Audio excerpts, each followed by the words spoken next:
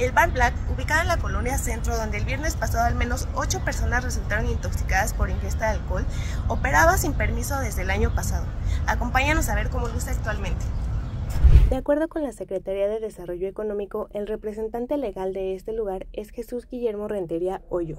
El establecimiento tenía registro en el CIAPEM desde el 2013 y tenía permiso para operar como bar con permiso de impacto zonal, pero la última revalidación de dicho permiso fue el 8 de febrero de 2021, es decir, debió validar en 2023, lo cual no se realizó.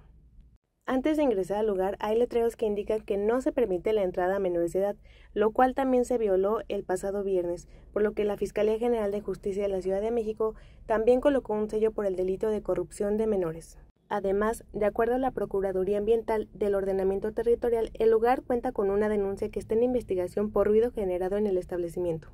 Cuando ocurrieron los hechos, todo el personal, así como las personas que se encontraban en otros establecimientos de la plaza, incluyendo otros bares, tuvieron que desalojar, lo cual fue complicado, pues de acuerdo a los testigos, el lugar estaba repleto de personas.